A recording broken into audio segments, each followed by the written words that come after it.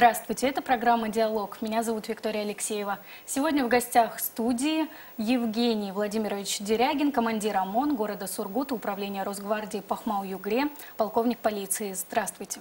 Здравствуйте. 21 февраля на базе ОМОН будет День открытых дверей. Расскажите, насколько часто вообще это мероприятие проводится и почему так открыто? Ну, э, День открытых дверей – это как одна из форм э, военно-патриотического воспитания, где молодежь может прийти, пообщаться вживую с сотрудниками, приобщиться, так сказать, э, к истории отряда, э, пощупать своими руками оружие, посмотреть технику, ну и быт сотрудника спецподразделения. В дальнейшем, как показывает практика, большинство из этих э, ну, граждан, которые к нам приходят на дни открытых дверей, э, со временем, после прохождения армии, они возвращаются к нам уже, ну только в строй. И, соответственно, э, э, понимает, чем мы занимаемся, как мы занимаемся, какой у нас быт. Поэтому э, день открытых дверей проводим. Э, э, Он как раз 21 числа будет э, в честь э, празднования Дня защитника Отечества. Приурочен. Да. Любой желающий может прийти, то есть ограничений никаких нет. Нет, э, ограничения есть, потому что любой желающий может прийти, но э, по согласованию. Соответственно, у нас есть, э, так сказать, представители военно-патриотических клубов, также военно-патриотических э,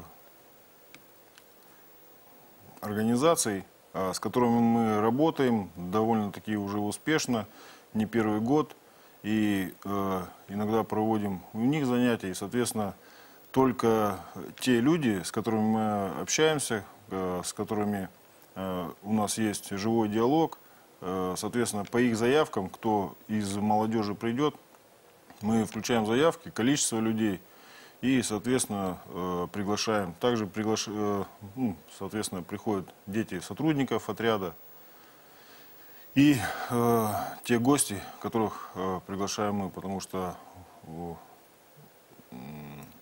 размеры нашей, так сказать, пункта постоянной дислокации небольшие и не могут вместить э, город весь в целом.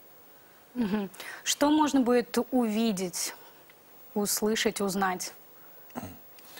Ну, э, день открытых дверей у нас, ну, торжественно начинается с построения, э, вручения. Кроме того, э, конкурс был объявлен э, детских рисунков э, среди подразделений Росгвардии. Э, Будут награждаться дети, которые принимали активное участие в этом.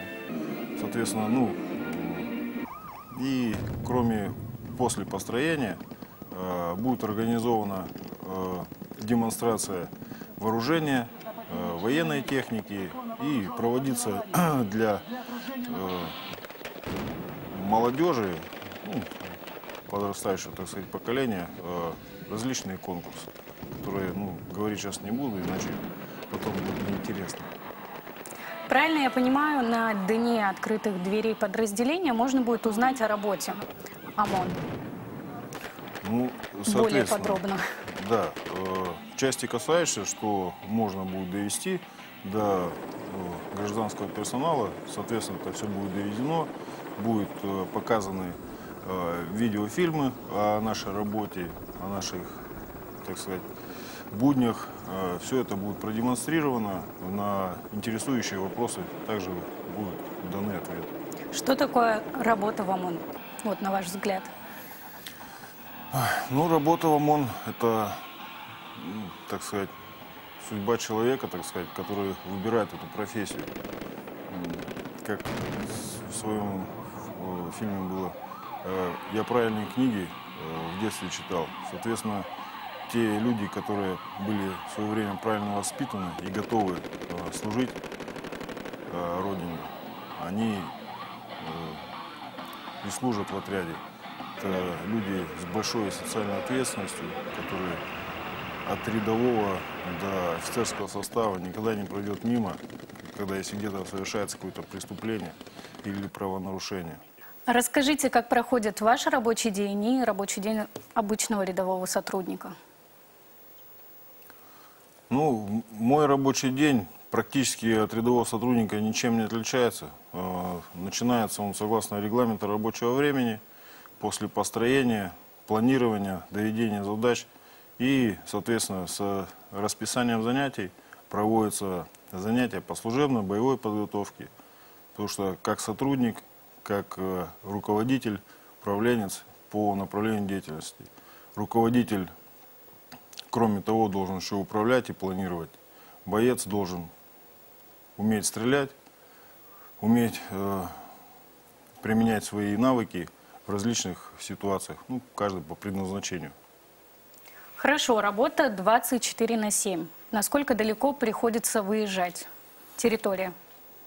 Ну, так сказать, плечо оперативного применения наше э, порядка 800 километров э, в каждую сторону.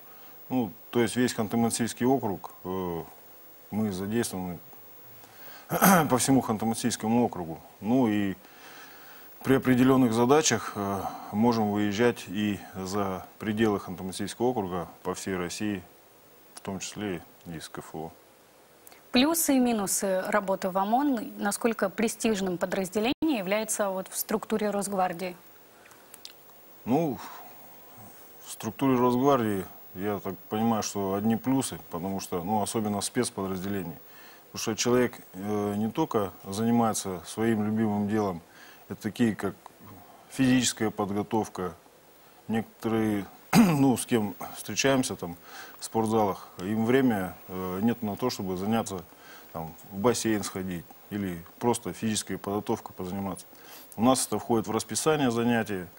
Кроме того, э, пропадаем на полигонах постоянно с оружием. Ну, это работа для настоящего мужчины. И минусы тут сложно искать. Понятно, есть э, минусы такие, как плана, что если длительные командировки, это ну, отлучение от семьи, ну, долго не видишь, ну, это может быть один из минусов. А остальное, я думаю, что это одни плюсы. Как э, попасть к вам в подразделение? Нужны ли для этого какие-то особенности? Особенная физическая подготовка, пол, рост, что-либо еще, образование?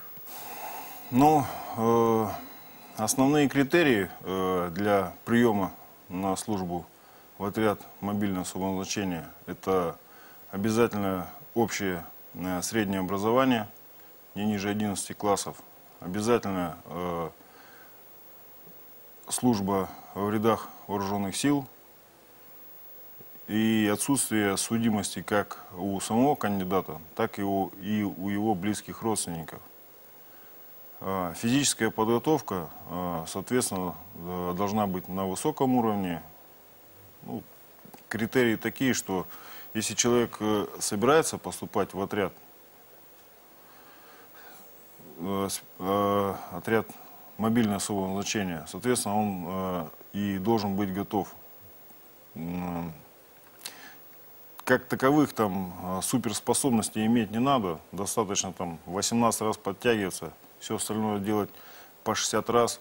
Любой, э, так сказать, гражданин, который занимается э, физическими нагрузками, для него это не представит какой-то сложности. Но самое главное, небольшое, это большое желание служить в этом подразделении. Потому что у нас приходили и со слабой физической подготовкой, но желание служить в нашем подразделении, оно его все возвращает и стимулирует на то, чтобы поднять свой уровень. Где находится база ОМОН? Какие объекты на ней действуют? Завершилось ли вообще процесс строительства, насколько я помню, он шел?